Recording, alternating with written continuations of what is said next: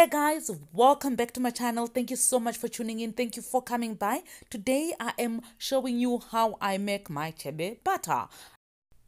I wrote a post on my blog on how I use chebe powder and this is the way I use it. I use it as a butter because it's so much easier to apply than to apply chebe powder and then some karkar oil and then water and then chebe powder again. It becomes so messy. So I prefer doing it this way. I use it in a butter.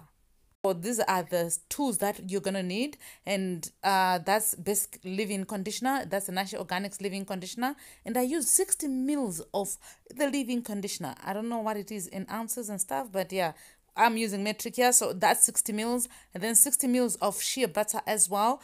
I'm measuring in mils because I've got measuring cups.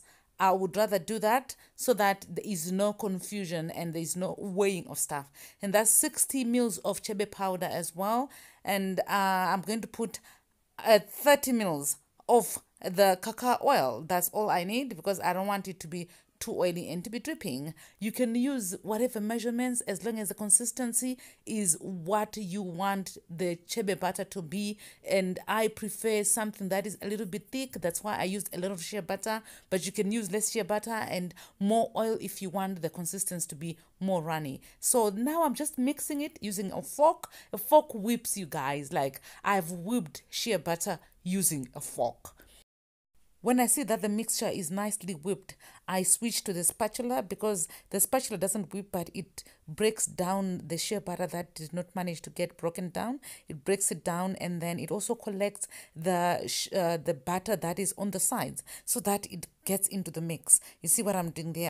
I'm breaking it down a little bit more and making sure that it is well well mixed. And as I do that it's turning even in a lighter color just to show that it is very well mixed. Now I am uh, disinfecting my jar there and leaving it out to dry so that as I continue mixing my jar is dry. Disinfecting my jar is very important so that my butter doesn't get moldy before I finish using it. I am now just cleaning my surface so that I can, you know, chebe can be messy. So I'm just cleaning my surface so that I can work on a cleaner surface. And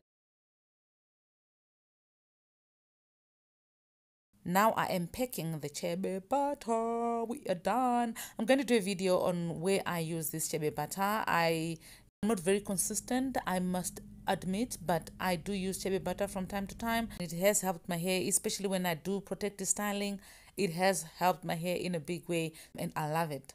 It leaves my hair so soft after removing the protective style. Leave it so soft. I love, love, love chebe butter.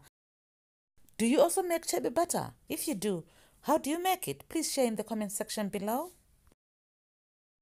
Don't forget to subscribe to my channel if you want to see more content like this and give me a thumbs up whilst you at it and I will see you guys in the next video. Thank you so so much for watching. God bless you. Bye.